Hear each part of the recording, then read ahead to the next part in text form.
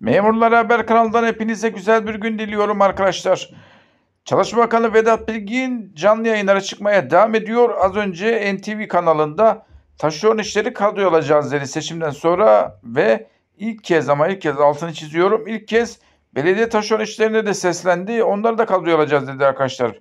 Bakalım bu ne kadar doğru çıkacak. Bakanın açıklamasını şimdi sizlere sunacağız.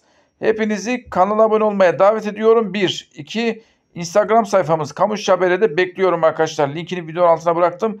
Instagram sayfamız Kamuş Haber'e tıklayın, takip edin. Videonun sonunda arkadaşlar taşeronla ilgili bütün gelişmeleri hem kanalda haber olarak yapacağız. Sizlerin sesi olacağız. Hem de Kamuş Haber Instagram sayfamızda da story atacağız. Bilgilendireceğiz. Instagram'a %100 abone olun. Tıklayın. Link videonun altında var arkadaşlar. Önümde kaldı. Eğer deprem olmayıp meclis çalışmalarına ara vermeseydi, biz de ara verdik çünkü biz de deprem bölgesiyle ilgilendik. Kriz merkezinde ben görevliydim.